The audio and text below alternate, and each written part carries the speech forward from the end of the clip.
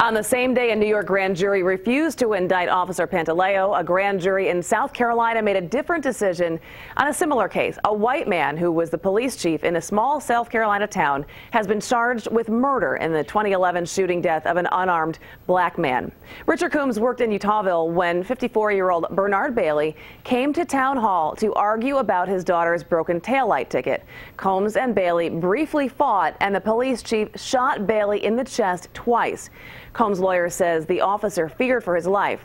Prosecutors say he was the aggressor. He's no longer with the police department.